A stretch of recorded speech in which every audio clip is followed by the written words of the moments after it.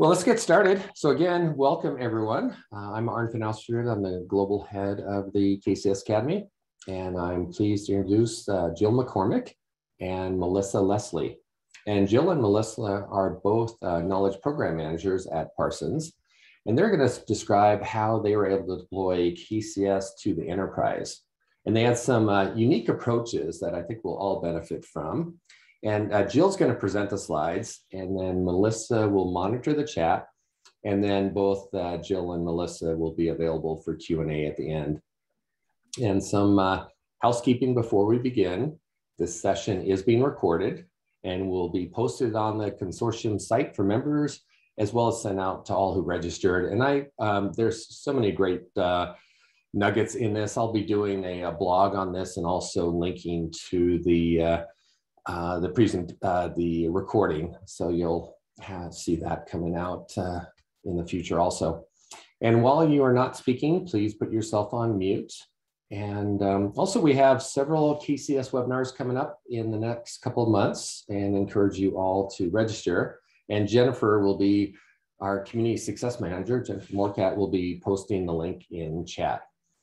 And it's always uh, great to hear about uh, digital transformations happening in this broader community. And when I say digital transformations, whether you're um, deploying a, a KCS uh, implementation, community, you're doing uh, uh, automated support, any type of digital transformation, we'd love to hear about the successes, the strategies and, and tips, um, as well as the ditches people encountered and how to avoid them.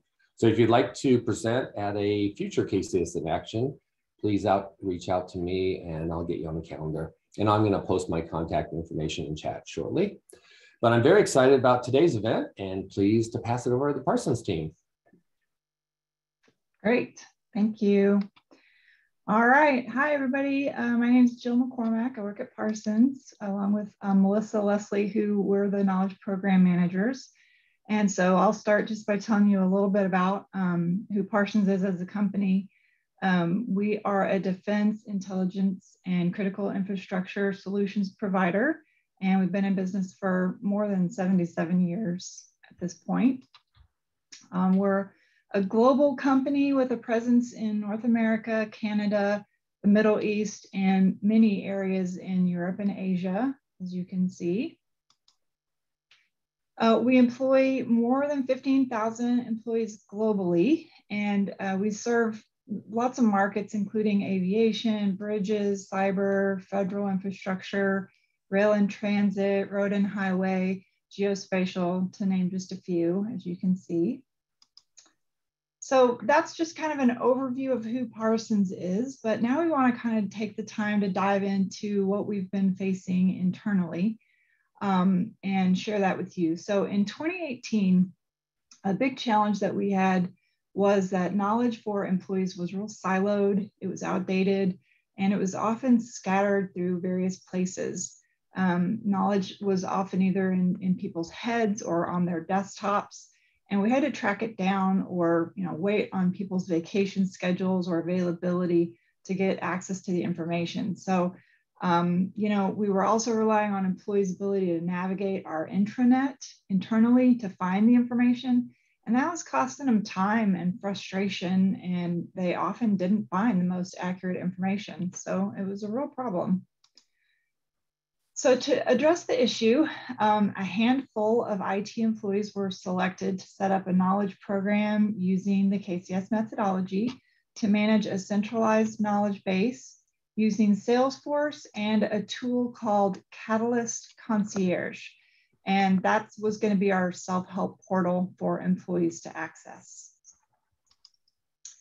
Uh, at the time, we had a small understaffed help desk with long hold times.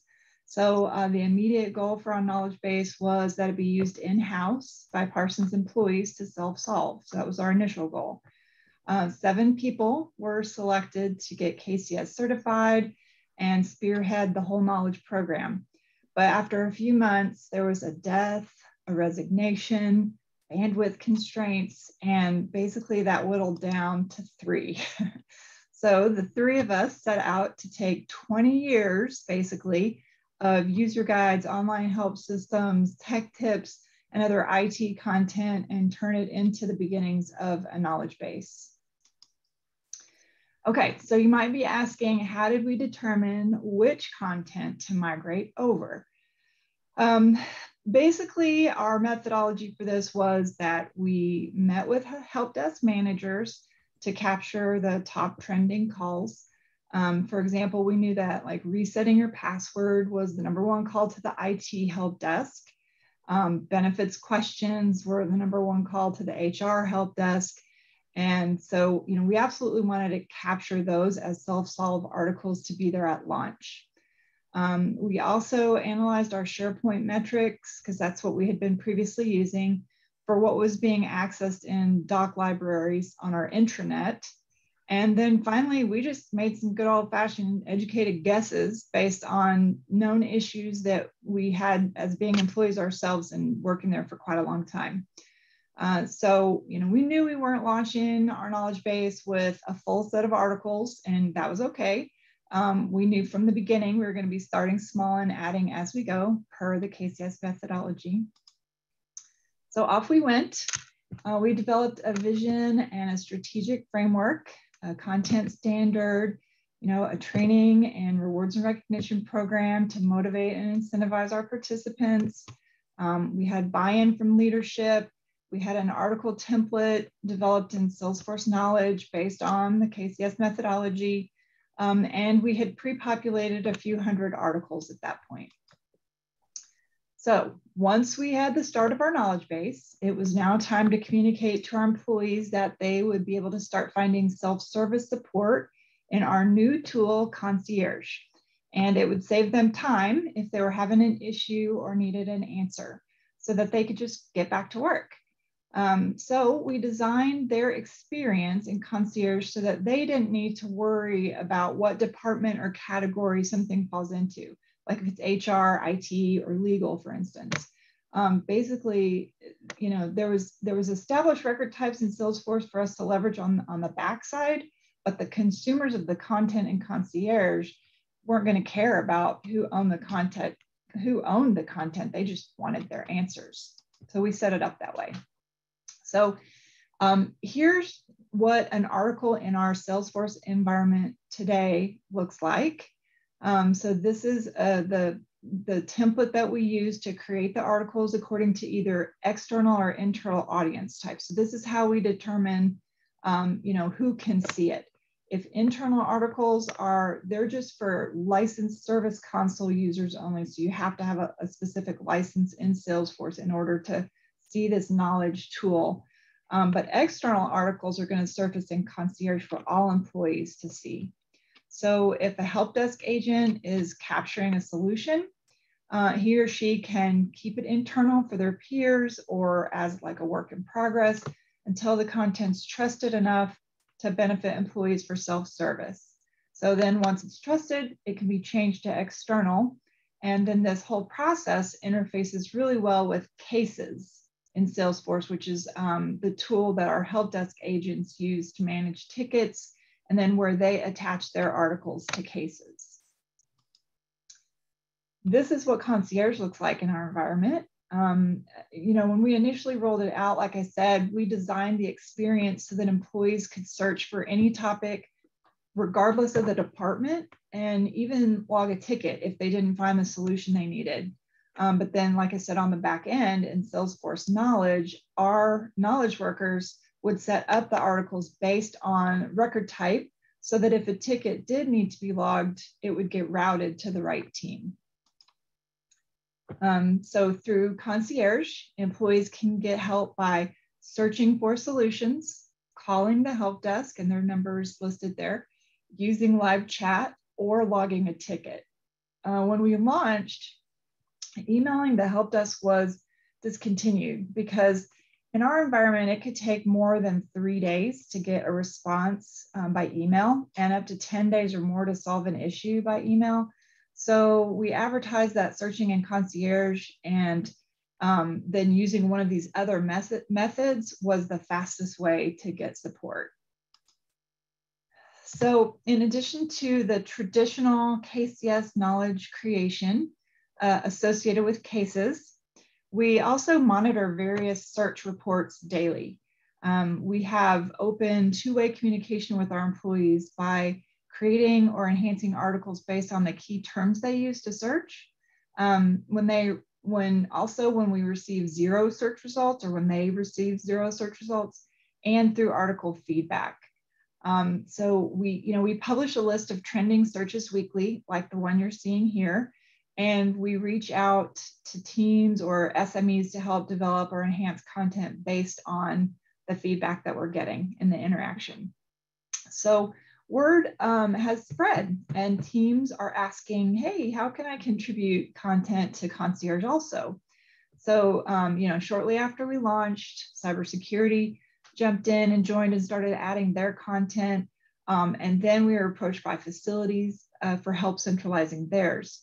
Um, as an example, what they were going through, facilities had, they used to have a three ring binder for their facilities coordinators in the various offices all over the world. So um, it was difficult distributing updated policies and procedures, and it really made in office support inconsistent. It was just not a, a great situation. Um, but now they have one in place where information is you know, located and introduced, and then there's a service queue to enhance their support throughout the enterprise. So it has just been greatly improved. Um, and then our most recent addition that we're really excited about is the safety team. And so, you know, as confidence in concierge is climbing, um, we know more and more teams are asking how they can contribute and add content to our knowledge base. Okay, so when someone does want to participate in knowledge, um, we've made it permission based to enforce methodology um, so what we do is we grant permissions after demonstrated competency is met through our in-house training program. Um, our goal is to get all knowledge workers to editor at a minimum, since this is when true collaboration can happen. Um, so in order for a department to get their own record type, like facilities did, um, then they have to have a minimum of one knowledge domain expert certified by the KCS Academy certified trainer. Uh, we personally happen to like Michelle Stump from Upland RightAnswers, giving her a shout out. Um, so we send all our KDE candidates through her class. Um, so the way we have it set up, KDEs approve external articles, which then publish to concierge. Um, but in our environment, all roles can publish internally. So those don't need an AQI score. I believe now it's called the content standard score. And um, they aren't viewable by all employees. So the way we have it set up in our environment, rights for publishing are given to the KDE only. Um, so publishers gain additional responsibilities to do scoring and then we ask them to do metrics and help us with kind of just really monitoring the knowledge base overall. Um, so just kind of as a side note, along our journey through KCS and implementing our knowledge program, um, we discovered that having KDE and coach combined was a better method for us than having a standalone coach position. It just worked better in our environment. Okay, so uh, in the beginning, when we had that small group of us that were asked to get KCS certified and put a knowledge program together. Um, we recruited and activated around 35 knowledge workers who helped create approximately, I think we had three, about 340 articles in anticipation of our launch. Um, today, we have around 275 knowledge workers certified at one of those four levels that I showed you um, including 21 help desk agents, which is the size of our IT help desk, and more than 1,600 articles and growing in our knowledge base. So that's pretty good in two years. So since 2019, uh, we've achieved some really exciting milestones that we have celebrated. Um, last year in June of 2020, uh, which was a little over a year after we launched, we hit half a million searches in concierge. And so two years after that, after our launch, um, we, we say we joined the likes of McDonald's and Amazon, serving up over 1 million searches. Um, so we were tracking call and case deflection. Um, but as we all are so familiar with the April 2020 hit with COVID, and so our data got a little skewed because we had to figure out how to move 15,000 um, people to a work from home situation. So our timeline has this anomaly in it um, that perhaps makes it look a bit different than a normal year. But many of our managers agree that uh, we could not have moved that many employees from uh, to home during a quarantine like this without without concierge. So that's that's a, a good success. Um, here's just a dashboard that we have built in Salesforce that um, demonstrates some of that success. Um, you can see that before COVID hit and a few months after our launch, you know, we had around 6,000 searches. This is pretty good. Um, but then when employees were looking for work for from home instructions, our searches spiked to almost 36,000. And that's actually an average that has remained since April of 2020. So um, we were definitely glad that we had gone ahead and launched when we did so that content was readily available in our in our self-help portal and we could update content on the fly as needed during that transition time. All right, so um, this is to show how our concierge platform gives our employees an opportunity for um, feedback. So, so this is kind of our, our two-way street that I, that I mentioned earlier, and it, and it helps us keep the articles accurate. So they can report errors or issues by clicking that link um, down at the bottom of an article that you can see. And then we take that input and we make updates as needed. So um, we, we, what we do in-house is we create a case from the feedback so we can track it and ensure that it gets addressed. Um, we typically inform the person who submitted the feedback, um, you know, what action we took based on their feedback, which helps maintain a good reputation overall of concierge. And, and that is our goal. Our main goal is that concierge have a good um, um, reputation as a trustworthy resource. So responses to the feedback have really gone a long way in helping us do that. Um, us acknowledging their observations and letting them know that a real person has received it and will take action has, has been a part of that success. Uh, here's an example of how that cycle helps us improve the articles. Just kind of a quick look at a glance that um, when someone uses the know here's why button in an article and gives us that feedback, um, a knowledge worker responds and makes those updates accordingly. Um, and then the updates are published and the cycle continues. We do uh, monitor the feedback, like I said, and search results daily. Um, knowledge articles are created, of course, as a byproduct of those search results and cases. Um, articles are improved as a result of feedback as well as interaction and then our scheduled reviews that we have built in. Um, the cycle of using concierge as a centralized portal has really appealed to other teams, which has prompted requests for them to engage with the program and become knowledge workers and get involved.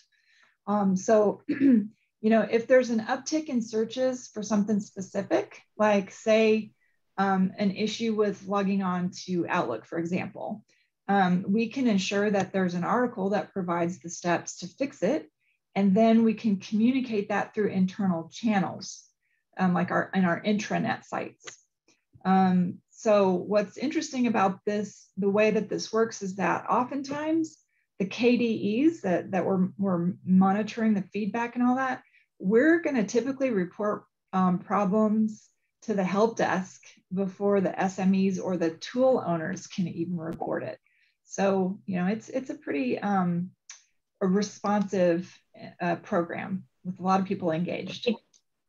Hey, Jill. Yes. Sorry to interrupt your flow, but we, we've got a question here. Um, Catherine asked about how we ensure consistency and keep content up to date, which you addressed. Um, but she's also asking what people strategies we've used to, and I'm, I'm assuming this is to keep people engaged in the knowledge base. Um, do you want to kind of go in a little bit more on our um, review or our um, our uh, rewards program and and how we we pull people into the knowledge base? Sure, sure, sure. Yeah. Um, so that training, uh, the, the the roles that I showed, we have a training program um, that they have to go through. I think. Let me see if I can just quickly find that same slide that shows our. Here we go. Um, uh, it shows right here that for each level, each role level, as they level up, they get. Um, uh, sorry, that they have. These are the requirements: two one-hour classes and then they have to pass a little five question quiz. And it's just a scenario based quiz to confirm they really understand the methodology. So at each role, they have to go through these. Um, at the author level, we give out a certificate um, that we just mail to them, you know, printed on a, a, some like thicker cardstock. And so we just we just do all this in house and print out a, a certificate.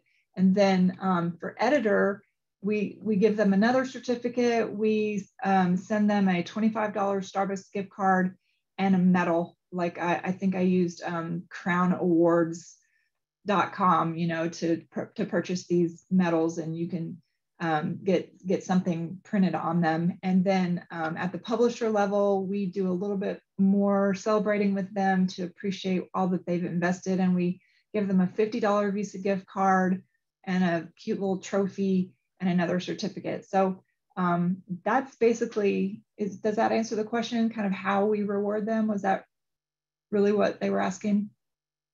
Yep, that was absolutely okay. what she was asking. Yeah, that's how we set it up. We, we were able to, you know, get a little bit of budget for some of the tchotchkes and stuff, but um, I think, you know, just really trying to acknowledge and appreciate and value their time and investment into the training, um, I, I think goes a long way in, in any way that you can as a company. Okay, let me bounce back to where we were. Um, that was a great question. I'm, I'm, glad you asked. We were, we were always um, on these webinars when we were attending, still getting going. I remember we were always very keen on finding out, okay, how did you do the training program? um, okay, so at this point, um, you know, as we step back and we're kind of looking for the differentiators that have that have helped our knowledge program, um, we believe that following the methodology, the KCS methodology, has certainly been key, but that adapting it to our own environment is important as well. So, um, you know, kind of knowing when to flex and when not to flex. Like when we merged the KCS coach role with KDE, that was um, when we could flex but I'm going to show you on a lessons learned where we learned not to flex. um, another important distinction has been uh, that we, you know, we provide articles in front of change as well. So in addition to just-in-time content versus just in case, um, we, we have dedicated communications team, teams here at Parsons for various different groups. Like we have an IT communications team, an HR communications team, um, and that you know we we are basically working on preparing business readiness content. And so, you know, we send out email notifications communicating that like there's a new platform or a policy, for instance. Um, you know, but those those communications are backed up with links to concierge articles that have instructions or answers that can be referenced 24/7 from any device, any location um, you know, and it gives us an opportunity to get feedback from them. So, um, you know, that's that's a good differentiator, I believe. And then um, also, we used to push our news. So we would push news, changes, outage notifications um, to the applicable audiences and just kind of hope that they read those. But you know, with concierge, um, you know, now we we still email the information, but it's more pull information because it's backed by that content in concierge that's that's always there for them when they need it they need to refer to it. Um, some of our future goals and, and, enhancements that we have on the radar um, certainly getting our articles translated into other languages because we are a global uh, company. Um, we want to continue working with some of the new tools um, like power bi that we have just um, in, in, implemented to build better dashboards and help us with that real tangible metrics um, and, and helps point us to that continuous improvement side of the loop. Uh, and then, you know, increase alignment with the help desk to make sure that cases are being linked accurately. We're still keeping, you know, a pretty close eye on that. And then um, here's some lessons learned that we wanted to share with you. Um, a couple of these, like I said, are, are, where we learned that you shouldn't flex on the methodology. Um, like um, number two, but I'll get to that in a second. The first one, not giving the knowledge base enough time to mature internally before we launched it to employees. You know, that just kind of, those were our circumstances. Um, although those did end up paying off since you know the timing of COVID hit, and we really needed to have a way to instruct 15,000 employees how to work from home. So that one paid off. Um, but you know, it would have been good if our if our knowledge base could have matured a little bit more before we launched it. Um, we did learn that the requirements for the training program that we put in place should not be compromised. Um, so we're pretty hard nosed about making sure that, like I explained earlier, where um, you've got those two one hour classes and that five question quiz for each of the levels. Um, everybody has to go through that who wants to be a knowledge worker and participate in the program. And everybody who wants to have an, their own record type um, has to have at least one KDE. And we just don't flex on that, no matter who it is. I mean, we've had some executives come through the training even because um, we're not going to give any exceptions. We want everyone to understand the KCS methodology um, and how we're implementing it here. So that's that's one of those areas. Um, certainly, uh, insight that we've gained since launch has shown that some of the fields in that template that I show you showed you um, weren't fully vetted out when we launched, and we could probably improve how they're being used uh, example of that is our article maturity field. Um, and, and so now we're, we're actually in the process of trying to vet out how that should um, be improved. Um, we also now encourage all of our developers that are working with Salesforce to understand the methodology and go through a basic level of KCS training. Um, we had uh, someone on the development team in the past who didn't understand the methodology. And that was a really challenging way for us to uh, work together. Um, also, we noticed from search trends that employees sometimes think concierge is Google. um, so we see some interesting searches and we, we try to educate our folks on, you know, what concierge is and what it isn't through all of our various internal communication channels. Um, and then lastly, you know, we did a survey, but the timing wasn't good and we got a low response rate. It was kind of right after COVID hit. So we need to do another survey and really keep tabs on the pulse of how our employees are, are perceiving things overall and how they're going. Okay, so that is really um, kind of the summary of our journey with KCS so far. Um, wherever you are on your path to implement it, it, I hope that you found some nuggets here today that were helpful or that encourage you in your KCS endeavors. And so if there are any other questions, I think at this point we could open it up if there's time. We have a good question, Jill. Um, uh, can, and I know we've, we've done a little bit of this, but it says, can you please share how we, we motivate knowledge workers to invest their time in knowledge creation and maintenance?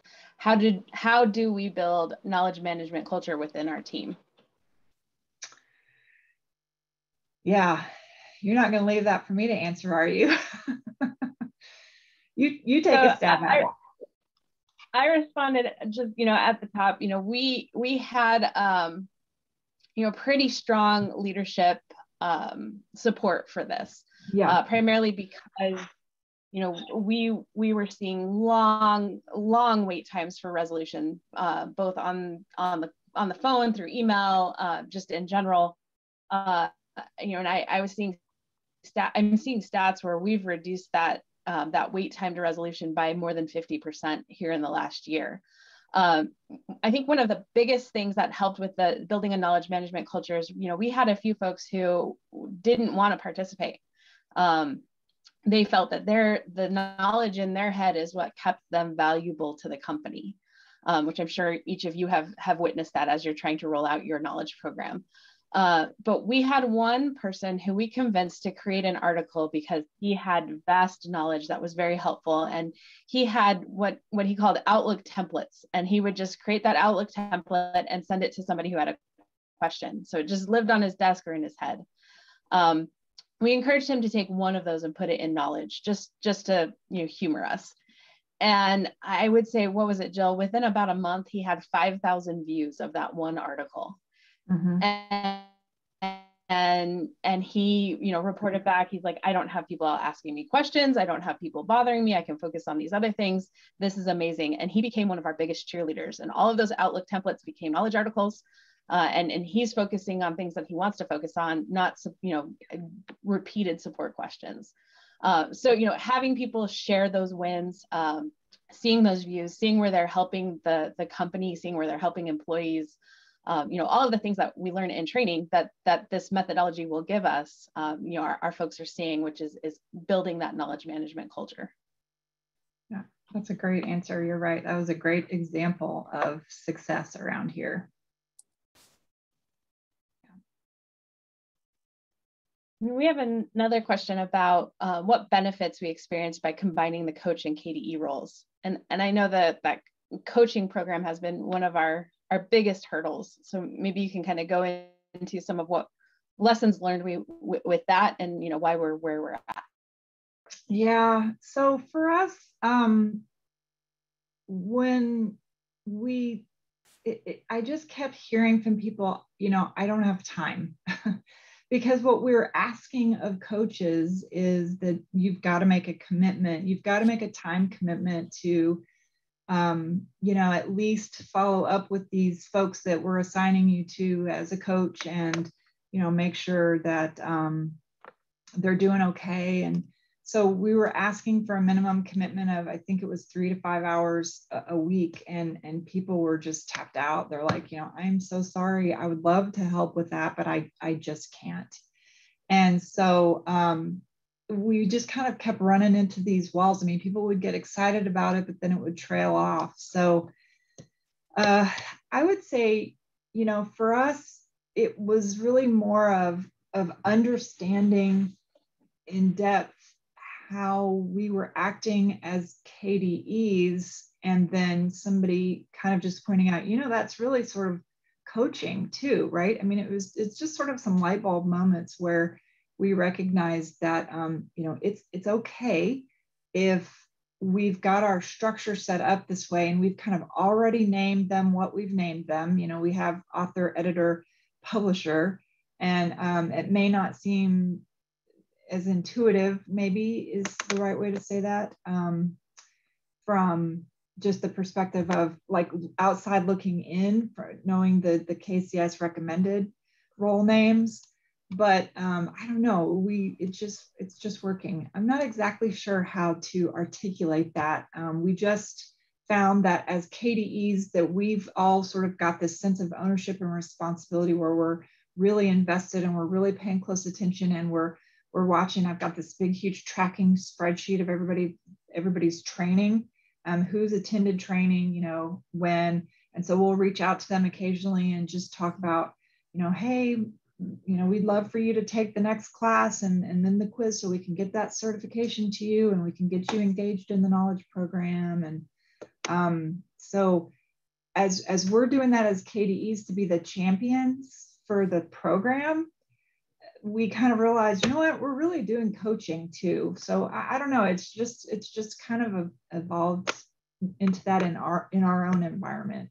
That probably didn't really answer the question exactly, but I don't know. What else can you add, Melissa? Anything to enhance that?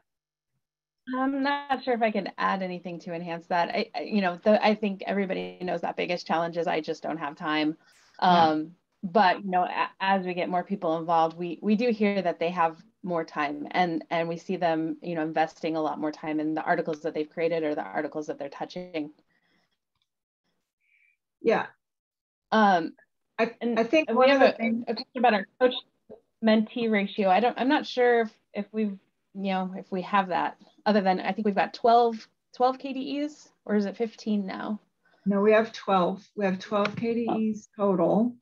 Um, out of those, that's a good question because I forgot to include that in my slide. So out of the 275 um, active knowledge workers that we have, we do have 12 KDEs. And um, so that's that looks like, you know, there's seven for IT, two for HR, one for cyber, one for facilities, and then we just got two um, joined that joined us for safety. And so, did I miss anybody? I think that's it. And so, um, since we are we we since we merged them, we're just actively monitoring daily, regularly, hourly. You know, we're we're really invested and involved in um, the articles that are submitted for review and approval and the review dates as they come up. We actively go and say, "Hey, your article's up for review. Um, please take a look and you know let us know if or, or change it if, if it needs changed or or update the review date." And so we're we're pinging people, we're engaging people a lot, and I think um, we just kind of do that side of it as we do our knowledge articles more of you know of a of an not as needed because we're still being really proactive but we're um, we're just staying really engaged. So I, I don't have like a specific number or a ratio for you on that one. Sorry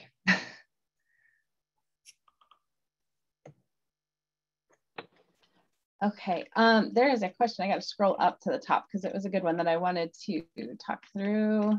They're coming through really fast, so I'm sorry if I missed a couple. Um, and this goes back to your your communication scheme slide, I'm pretty sure, but it's how how do you keep on top of change, community community discussions, core knowledge needs. Um, you know, we have a dedicated IT communications staff, which is me and Jill and two other women. Um, and then there's a dedicated security communication staff, there's a dedicated HR communication staff. We all meet pretty regularly.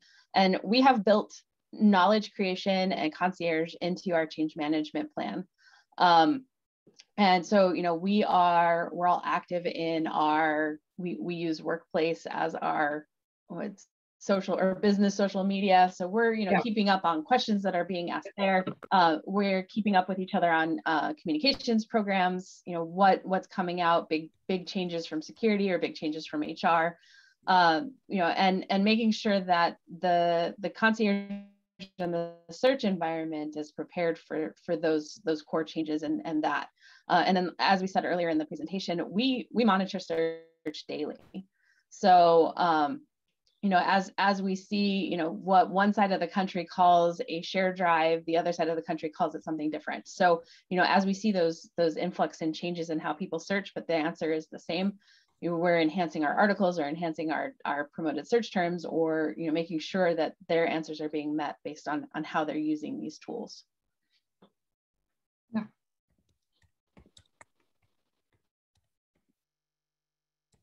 Good question. And we had another we had another question about, uh, you know, the methodology says not to focus on re review dates, but it sounds like we are.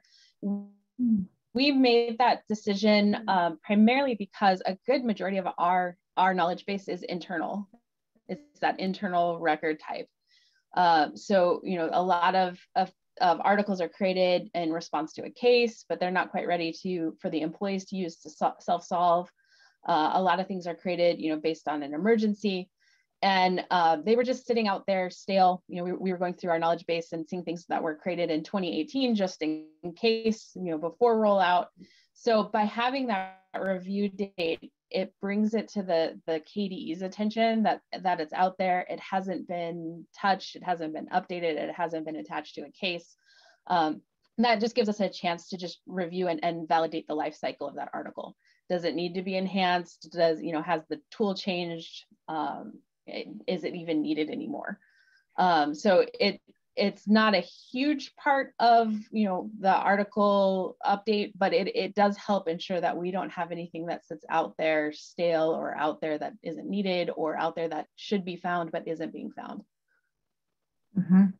The, if you remember when I, the, one of the first slides was about the problem that we started with before we launched our knowledge base, which was that our content was super hard to find, it was outdated, it was siloed. And so our review date has been pivotal for us in our environment to make sure that that doesn't happen again.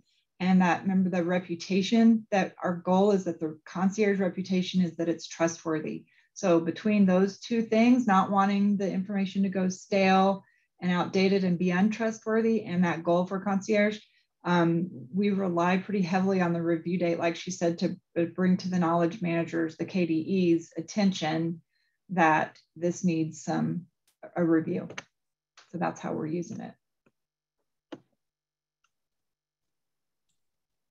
Really great questions.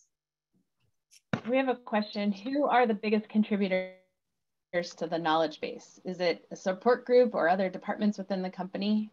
Um, I would say it's it's a representation across the company. Wouldn't you you Jill? I mean, it's it's IT support desk, it's IT and user computing, um, mm-hmm. it's HR, um, our benefits team. Mm-hmm. It's you know it's it's across the board.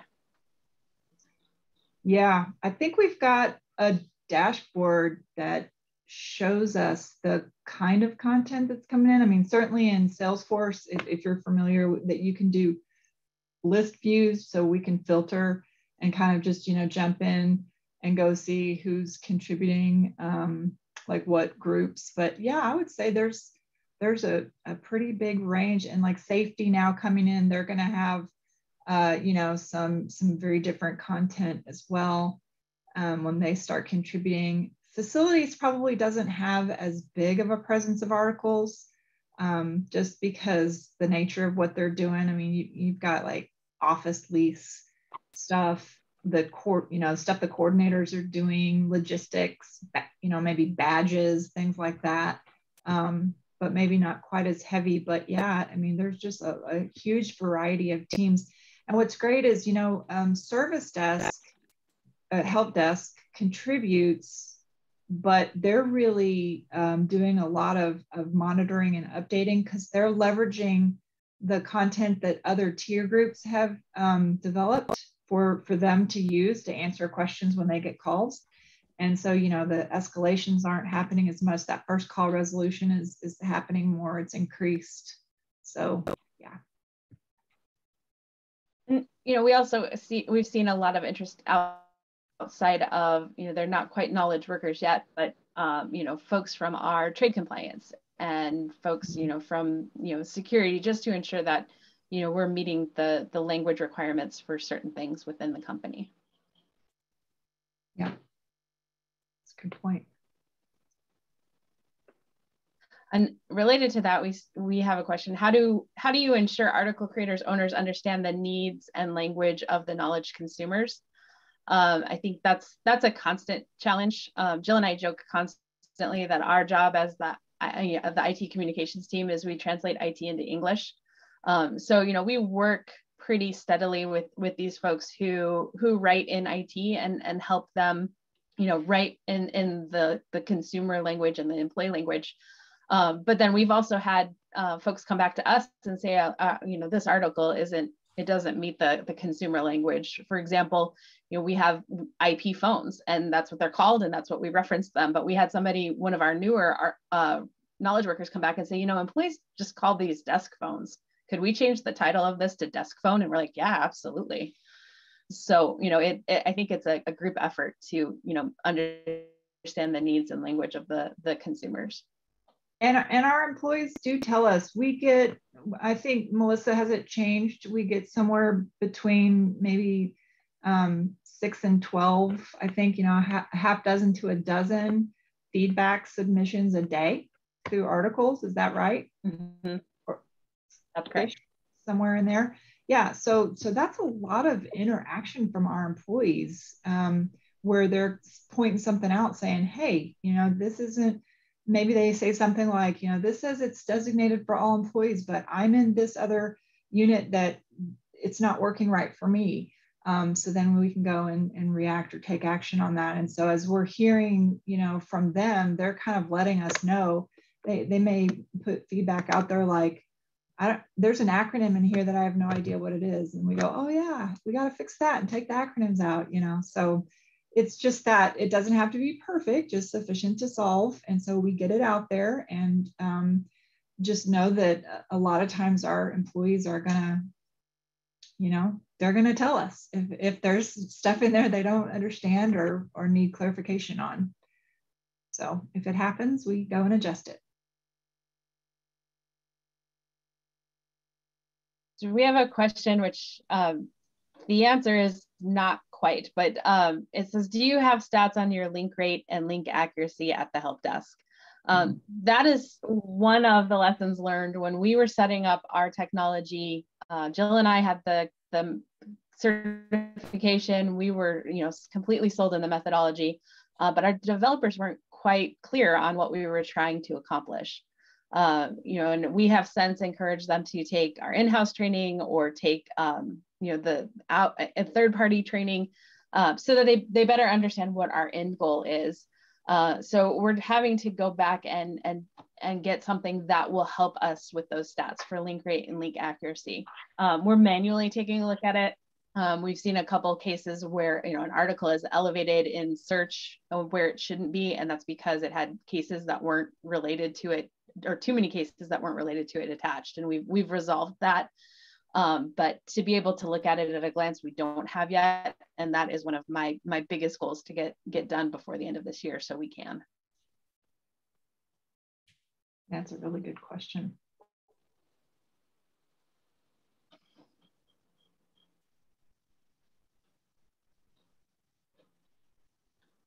Now we have a, another question about um, our, our slides on our dashboard.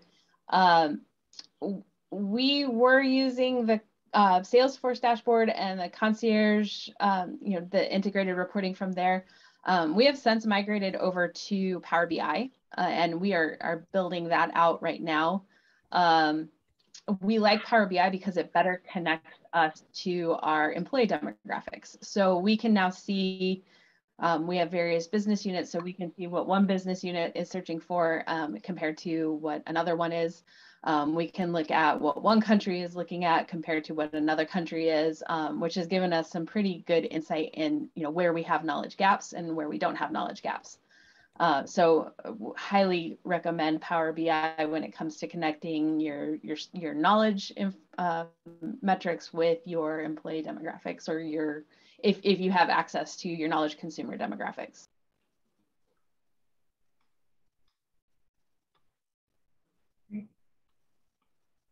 And then we've got a question. Do you find managers also need to be trained to go from activity-based measures to outcome-based measures? I would say yes. Um, Jill, do you have any any insight in some of the training that you've done when it comes to bringing managers in so they better understand what we're trying to do?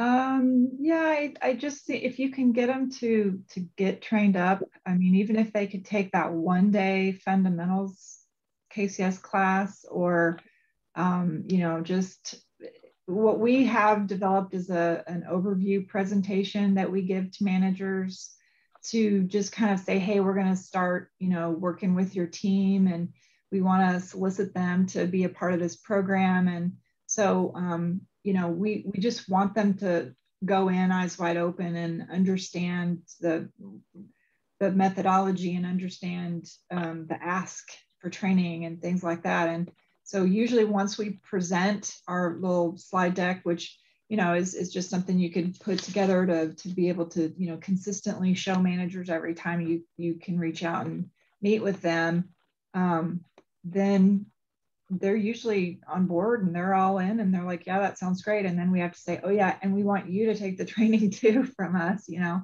So um, just if you can get them to in, invest in at any level, even if they can just take one intro course, you know, just kind of a 101 class that you build in-house that is an hour where you can kind of just show them how it's working and how um, the, the knowledge workers will be interfacing with the program and the tools, you know, so that they start understanding some of the terms they're going to hear and um, uh, they can see the end goal about putting that content out there and so that it's, it's okay with them. They understand there's going to be a little time investment from some of their folks, but that in the long run, it makes sense to do it. It's, you know, it, this this for sure this program is not an overnight thing. It's a it's a paradigm shift as we you probably have already discovered. It's it's a it's a, a, bit of a culture shift for kind of how we work. And so it's time to oh you know just like take a deep breath and be ready. Okay this is this is um what do they say? It's a um marathon, not a sprint, right? You're in this for the long haul. You're going to be having lots of conversations. You probably need to build yourself a few slide decks so that you can pull those out, you know, to the right audiences about the right level of, of information that they need, stuff like that. But, you know, it's it's just one of those things where you you, you commit to this and and you get going and you're you know you do what you can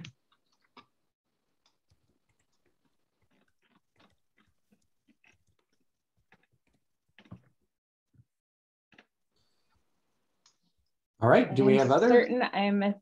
Oh, sorry. Go ahead, Melissa. Yeah, I'm certain I missed some in the scroll, but if you guys want to add any more, if, if I didn't answer your question earlier, you know, please add it back here and we'll get to it if, if you need.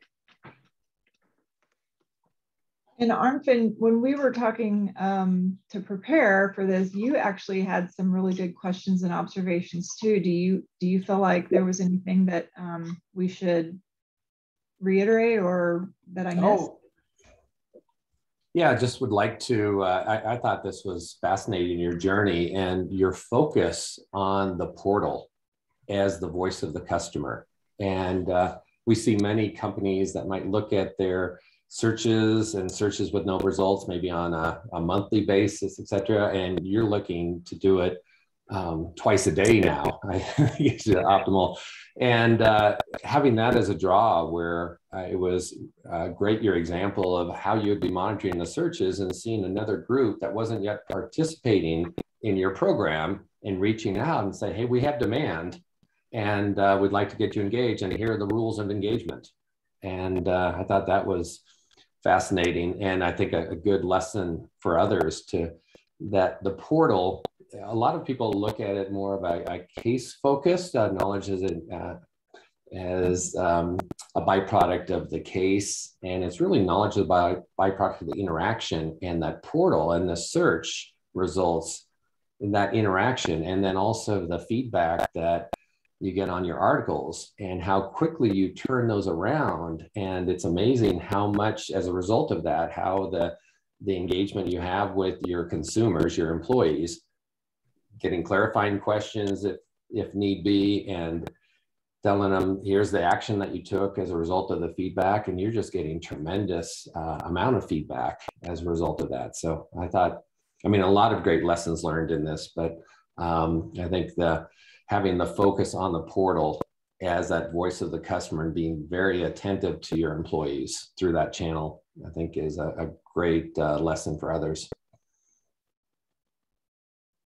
Yeah, I, I think it's it's maybe a little bit unique that we're using um, the methodology for in-house support really for the employee base versus you know products or services that is on the agenda down the road um, to to take this out for Parsons to leverage to our our true customers. Like the employees are our customers as knowledge program managers but for Parsons customers to have this type of thing out, um, you know, is is also one of the the future enhancements as well. So this was maybe maybe a little bit more of a unique way to use the methodology, but sure is working good for us. That's great. I mean, we see many companies that we see KCS deployed, certainly in customer support, but more and more and more uh, through internal support and not just IT, but HR. It's been great to see what you have with securities, facilities, et cetera. But we yeah. see that really happening more and more of KCS deployment in the enterprise. And I think you gave a great example of how to, to make that happen. Good. Well, I think we're we're timing out. So thank you all very much for participating, and thank you to um, Jill and Melissa for the great work, and um, really appreciate it. And again, uh, we have uh, lots of um, webinars coming up in the next few months. So please take a look at those events, and we look forward to seeing you again in the future event. So thanks again. Really appreciate it. Thanks, everybody. Thank you. Thanks for having us today. Bye-bye. Thank you. Bye-bye.